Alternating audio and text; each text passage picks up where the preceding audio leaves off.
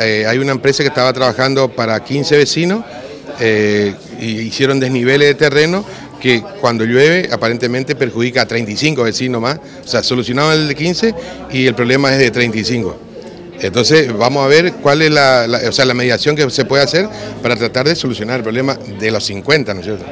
¿Se va a convocar a gente de la empresa también? Sí, sí, primero vamos a situarnos en el lugar y ahí vamos a ver el problema porque estamos hablando en el aire, ¿no es cierto?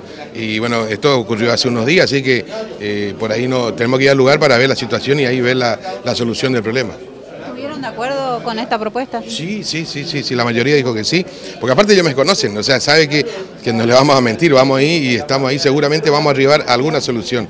Eh, esa es la, la propuesta, ¿no? Concejal Media, también la temática de la cuestión tierra en esta instancia.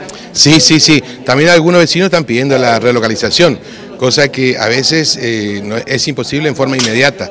Eh, están censados, muchos vecinos que están ahí, están todos censados, por lo tanto hay una, eh, una escala de, prioridades en donde hay algunos que están en situación de calle, otros en situaciones privadas y algunos en espacio verde. bueno, de acuerdo a la necesidad, se va junto, trabajando junto con el IPROA para ver si se le reubica a la gente, ¿no?